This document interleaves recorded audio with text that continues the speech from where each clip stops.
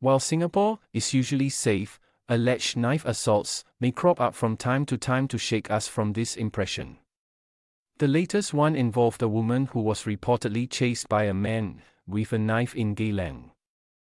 She was thankfully saved by another man who aimed a flying kick at her would be assailant, an eyewitness said. However, her savior ended up sustaining injuries of his own. The violent incident took place at 8:13 p.m. on Sunday, November 12, reported Shin Min Daily News.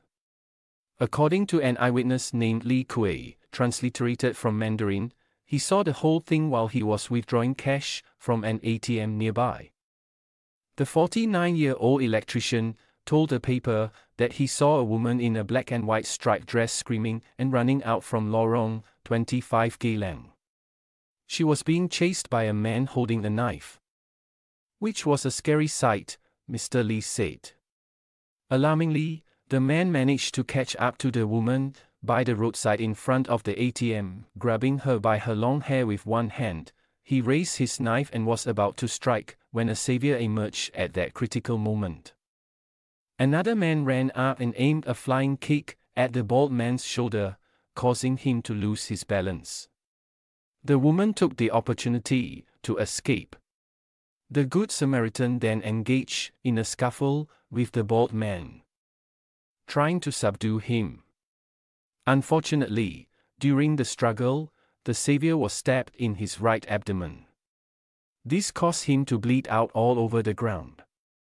Fortunately, Another man across the street, who was wearing red, saw what was happening and ran over to help subdue the bald man. The two of them grabbed his arms and managed to take away the weapon. At this point, the savior was bleeding profusely, but told his friends that he was fine. In response to queries from Shin Min, the police said a 32 year old man had been arrested for voluntarily causing hurt with a dangerous weapon.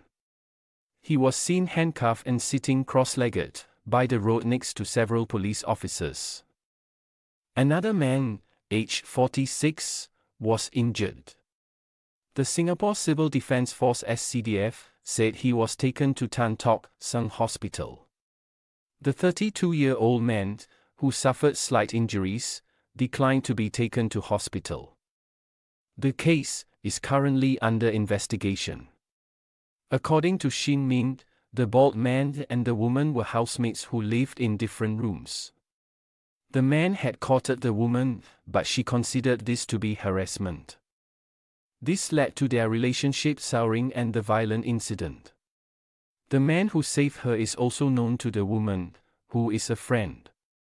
According to Mr. Lee, the eyewitness, after the bald man was subdued, he turned to the 46 year old and said, Brother, my life is over. He also told him that he shouldn't have tried to protect her. Hopefully, the Good Samaritan's injuries aren't serious and he recovers quickly.